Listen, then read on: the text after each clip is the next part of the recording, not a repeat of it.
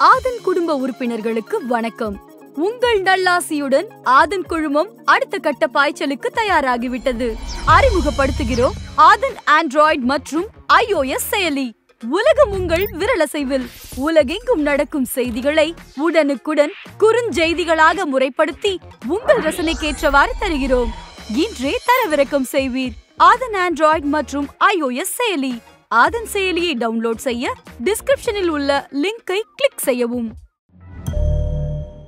தேசிய நெடுஞ்சாலைகளில் மக்கள் சந்திக்கிற மிக முக்கிய பிரச்சனைகளில் ஒன்று சுங்க கட்டணம் செலுத்த வரிசையில் நிற்பதுதான். தற்போது அதற்கு ஒரு தீர்வை முன்னிறுத்தி அதனை நடைமுறைப்படுத்த தீவிரமாக நடவடிக்கைகளை மேற்கொண்டு வருகிறது நெடுஞ்சாலைத்துறை ஆணையம். அதன்படி அனைத்து சுங்கச்சாவடிகளிலும் வரும் டிசம்பர் ஒன்றாம் தேதி முதல் ஃபாஸ்டேக் கட்டண முறை கட்டாயமாக்குவதற்கான பணிகள் இறுதி கட்டத்தை அடைந்துள்ளன. இதற்கிடையே ஃபாஸ்டேக் அட்டை இல்லாமல் அந்த பாதையில் பணமாக கட்டணம் செலுத்தினால் அதற்கு தண்டனையாக ஒரு மடங்கு அபராதம் விதிக்கப்படும் என நெடுஞ்சாலைத்துறை ஆணையம் அறிவித்துள்ளது. தமிழகத்தில் சுமார் இரண்டாயிரத்தி தொள்ளாயிரம் கிலோமீட்டர் தூர சாலைகள் தேசிய நெடுஞ்சாலை ஆணையத்தின் கட்டுப்பாட்டில் உள்ளன.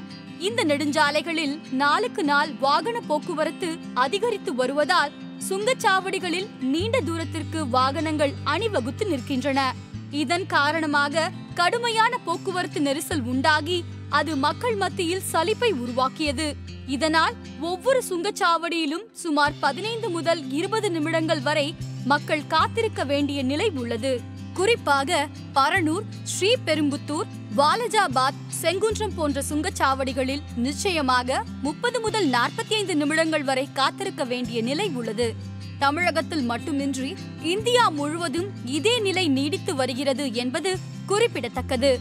இதனை பற்றிய பல அடிப்படை தகவல்களை இந்த வீடியோவில் நாம் தெரிந்து கொள்ளலாம். தற்போது தமிழ்நாட்டில் ஃபாஸ்டாக் எனும் மின்னணு கட்டண முறை வரும் டிசம்பர் ஒன்றாம் தேதி முதல் நடைமுறைக்கு வர உள்ளது ஃபாஸ்டாக் திட்டத்தின்படி ஆர்எஃப்ஐடி ரேடியோ ஃப்ரீக்வன்சி ஐடென்டிஃபிகேஷன் சார்ந்த ஃபாஸ்டாக் கார்டு வாகனத்தின் விண்ட்ஷீல்டில் ஒட்டப்படும். சுங்கச்சாவடிகளில் இந்த ஃபாஸ்டாக் அட்டை வழங்கப்படுகிறது.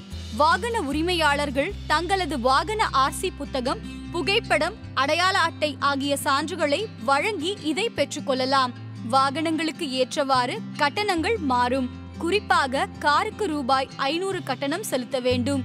இதில் ரூபாய் இருநூற்றி ஐம்பதை திரும்ப பெறும் வைப்பு தொகையாகவும் ஃபாஸ்டேக் அட்டை பெறுவதற்கு கட்டணமாக ரூபாய் நூறு வசூலிக்கப்படுகிறது. சுங்கச்சாவடிகளில் ஃபாஸ்டேக் அட்டை பயன்படுத்துவதற்கான கட்டமைப்பு பணிகள் கிட்டத்தட்ட நிறைவடைந்து விட்டன இதற்காக சில தனியார் பொதுத்துறை வங்கிகளுடன் ஒப்பந்தம் மேற்கொள்ளப்பட்டுள்ளதாகவும் தகவல்கள் வெளியாகியுள்ளன. எனவே வாகன உரிமையாளர்கள் சுங்கச்சாவடிகளில் இதற்கான ஃபாஸ்டாக் பிரத்யேக அட்டையை வாங்கிக் கொண்டு தேவையான அளவிற்கு ரீசார்ஜ் செய்து கொண்டு பயணம் செய்யலாம். இந்த அட்டையை பயன்படுத்தும் போது அதிகபட்சம் பத்தே வினாடிகளில் சுங்கச்சாவடியை கடந்து செல்லலாம். தமிழகத்தில் மொத்தமுள்ள நாற்பத்தெட்டு சுங்கச்சாவடிகளில் இருக்கும் நானூற்றி எண்பத்தி இரண்டு பாதைகளில் தொண்ணூறு சதவீதம் அளவிற்கு மின்னணு கட்டண முறை பணிகள் நிறைவடைந்து விட்டன. ஒவ்வொரு சுங்கச்சாவடியிலும் தலா ஒரே பாதையில் மட்டுமே பணம் செலுத்தி பயன்படுத்தும் முறை அனுமதிக்கப்பட உள்ளது. மற்ற பாதைகளில் ஃபாஸ்டாக் அட்டை பெற்ற வாகனங்களையே அனுமதிப்பார்கள். இந்த பாதையில் பணம் கொடுத்து பயணம் செய்தால் சுங்க கட்டணம் ரெண்டு மடங்காக உயர்த்தி வசூலிக்கப்படும். இதில் ஒரு மடங்கு அபராத கட்டணமாக இருக்கும்.